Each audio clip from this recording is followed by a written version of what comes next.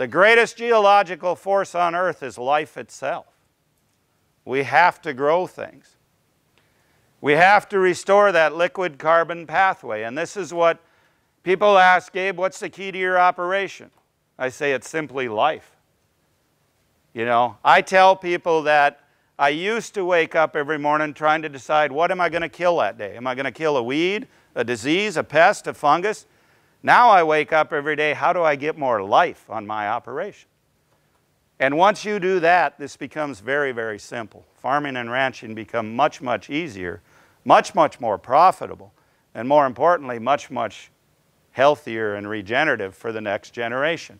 Because all we're doing is taking sunlight through photosynthesis and a plant, translocating it to the root, pumping it out into the soil as liquid carbon or root exudates, whatever you want to call it, and having it consumed by microbes.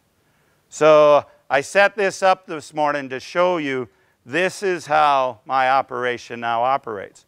We focus on having life on the operation.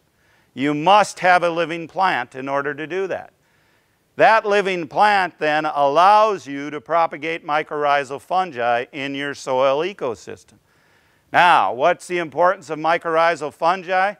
If you don't have mycorrhizal fungi, you're not going to build soil aggregates.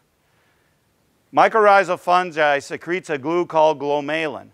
And it's that glue that is the sticky substance that starts soil particles, soil particle formation.